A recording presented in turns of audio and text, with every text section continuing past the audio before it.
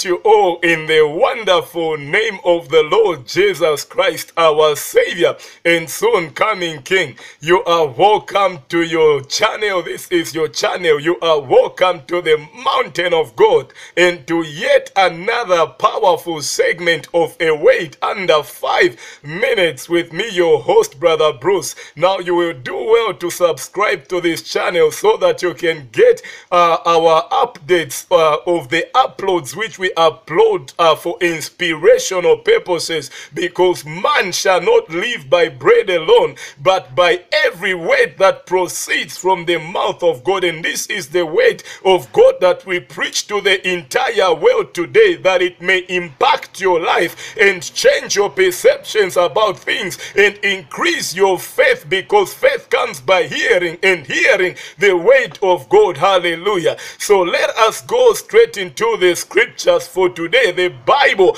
in uh, John chapter 16 and verses 13, the Lord Jesus Christ said, When He, the Holy Spirit, the Spirit of truth, has come, He will guide you into all the truth. He will not speak on His own, but He will speak what He hears and he will show you the things that are yet to come. Hallelujah. And so, as the church of the Lord today, we are privileged to have a Holy Spirit of God who is a representative of God here on the realm of men. And hear what the Spirit of the Lord says today. Let him who has an ear hear what the Spirit of the Lord says to the churches and to the people of God today. He says, I am your guide, I am your leader, I am your comforter, I am your counselor, I am your teacher. In all the things that you do, you must do as I say, says the Spirit of the Lord our God this morning. He says, do as I say, because I am your spiritual guide in all the matters of this earth and in all the matters that are to do with this life, because I am before you were and before you came into existence. I am.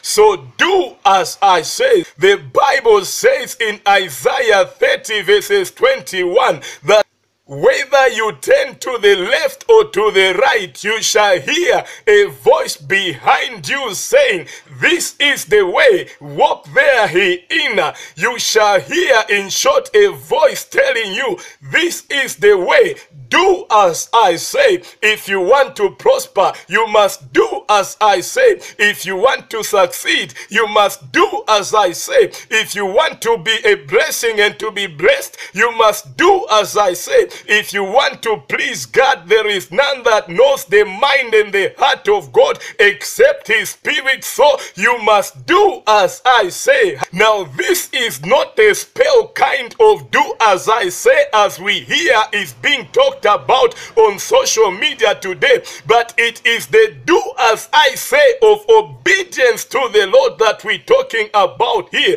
because the Bible says that if you are willing and obedient, you shall eat the good of the land. Hallelujah. Enough is enough of the shoutings of the I receive and I receive when the preacher is preaching. The Spirit of the Lord says, Do as I say. Hallelujah.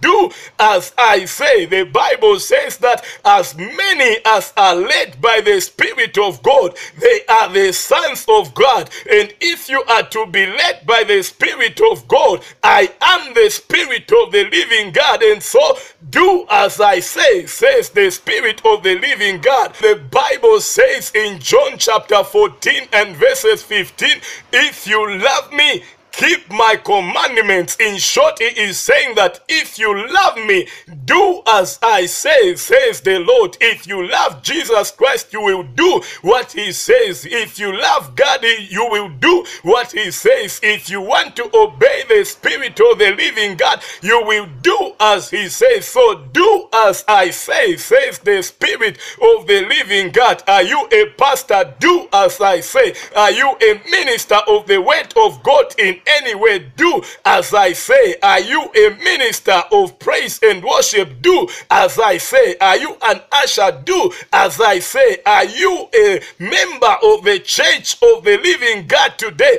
Do as I say, says the Spirit of the living God, because He is ever leading us and guiding us in the way of the truth. The Bible says that when you hear His voice, do not harden your heart like in the day of rebellion in the wilderness when the children of Israel hardened their hearts because they were disobedient people. They disobeyed the Lord. They hardened their hearts against His commandments. But the Spirit of the Lord is saying today, do as I say. Hallelujah.